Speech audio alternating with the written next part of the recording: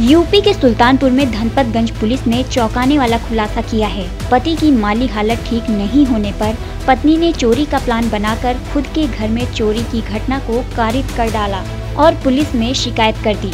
जाँच में पुलिस को शिकायतकर्ता महिला पर शक हुआ तो पुलिस ने सख्ती के साथ पूछताछ किया और मामले का वर्कआउट किया। दरअसल भीखनपुर निवासी किरण जायसवाल ने 27 सितंबर को पुलिस में शिकायत की थी। कि दो अज्ञात चोरों ने उसके घर में चोरी की घटना को कारित किया है। इस पर पुलिस ने जाँच किया तो शिकायतकर्ता महिला की पूरी प्लानिंग सामने आ गई। महिला ने 26 सितंबर को मेडिकल स्टोर से नींद की गोलियाँ ली और आरी, ब्लेड, तालों को काटने के लिए ले गई। घटना की रात नींद की गोलियाँ अपने बेटे को पहले से खिलाकर उसका हाथ पैर बांधकर घर के बाहर लिटा दिया।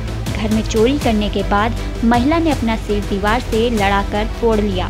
और बाद में स्वयं भी नींद की गोलियाँ खाकर जानबूझकर गुहार लगाई।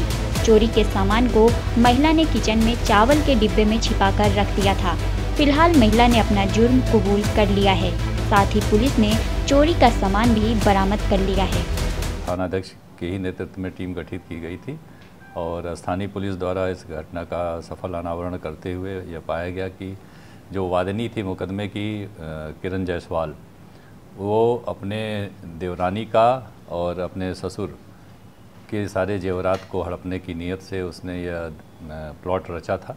उसने अपने करीब अल्पवयस्क पुत्र को रस्सियों से बाँध दिया था और आरी से उनके बक्से का ताला काटने के बाद से जो है उनके गहनों की चोरी कर ली थी। कड़ाई से पूछताछ में उसने अपना जुर्म इकबाल किया है और समस्त जो चोरी गए गहने थे, उनकी बरामदगी की गई है। आज उसकी निशानदेही पर बरामद गहनों के साथ उसका चालान न्यायालय में किया जा रहा है। सुल्तानपुर से 944 न्यूज़ के लिए अनिल गुप्ता की रिपोर्ट।